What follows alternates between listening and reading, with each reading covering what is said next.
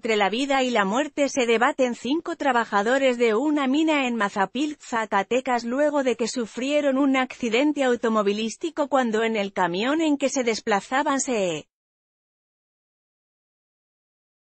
impactó en contra de un camión de tres y media toneladas, por lo que fueron trasladados de urgencia a la Clínica 1 del Seguro Social durante el fin de semana.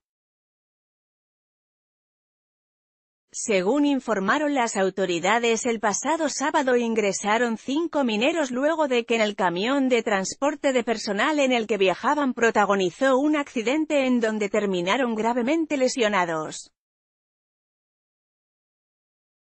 De acuerdo con la información proporcionada el conductor del camión en donde se desplazaban chocó por alcance en contra de un camión de tres y media toneladas, posteriormente volcó y esto causó las lesiones de los trabajadores.